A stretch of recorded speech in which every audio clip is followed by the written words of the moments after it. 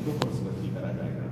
इस अवसर पर जो कैंसर के विजेता हैं कैंसर वॉरियर्स हैं जो हमारे मेरा आगरा में सफ़र अब लगभग इक्कीस वर्ष पुराना है। तो इस दरमियान जो कैंसर से जीत करके लोग आए हैं उनका भी सम्मान इस अवसर पर हम करते हैं क्योंकि वो समाज में एक पॉजिटिव मैसेज देता है कि कैंसर एक ऐसी चीज़ है जिससे डरें तो ये जो आप हर बार जो करते हैं उनसे हटके हैं नए लोग हैं कि वो पुराने वाले? नए लोग भी हैं और पुराने भी हैं क्योंकि उन्होंने भी एक साल अपनी ज़िंदगी का जोड़ा हाँ। नहीं जैसे पिछली बार जो किया वो भी वो भी रहेंगे? वो क्यों नहीं रहेंगे? नहीं, सम्मानित जो करेंगे। तो मन नया होगा करेंगे? हाँ वही। वो तो अपने अनुभव बताते हैं। हम्म, देखिए वो सबसे बड़ी मेरे आपके कहने से ज़्यादा बड़ी प्रेरणा है वो जब वो ये कहता है कि देखो मैं ठीक हूँ।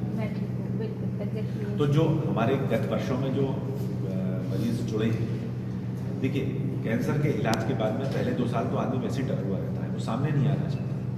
तीन चार साल बाद उसको ये भय कम होता है कि हाँ मैं शायद ठीक हो गया। शायद। क्योंकि डॉक्टर डराता रहता है उसे बीमारी तो नहीं आ गई तेरे हाँ, को तो पाँच छः साल निकल जाने में डॉक्टर के भी मन से बह निकल जाता मरीज़ के भी मन से बह निकल जाता कि हाँ अब तो शायद ठीक हो ही गया। तो ऐसा व्यक्ति ज़्यादा मुखर रूप से समाज के सामने आकर के बोलने की फिर हिम्मत कर पाता है वरना तो डरे हुए रहते हैं।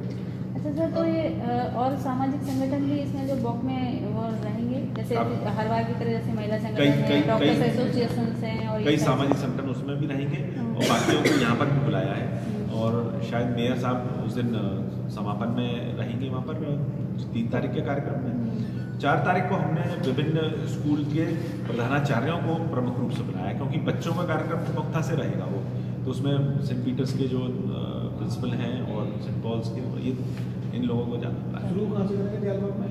दयालबाग सॉफ्टवेयर रोड से करेंगे। शुरू। और कहाँ पर होगा? केंद्रीय हिंदी संस्थान केंद्रीय संस्थान पे करेंगे। ठीक है सुबह कितने बजे? साढ़े नौ बजे।